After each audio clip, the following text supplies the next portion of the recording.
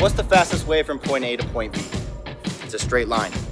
What's the fastest way from where you're at right now to your dream body? It's a straight line.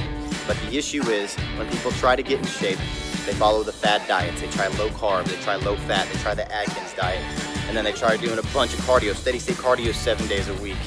And what happens is instead of going in a straight line, they jump back and forth on this diagonal line and get mediocre results so that they end up quitting and they just think that nothing works for them when really they have a very specific body type, one of three body types actually.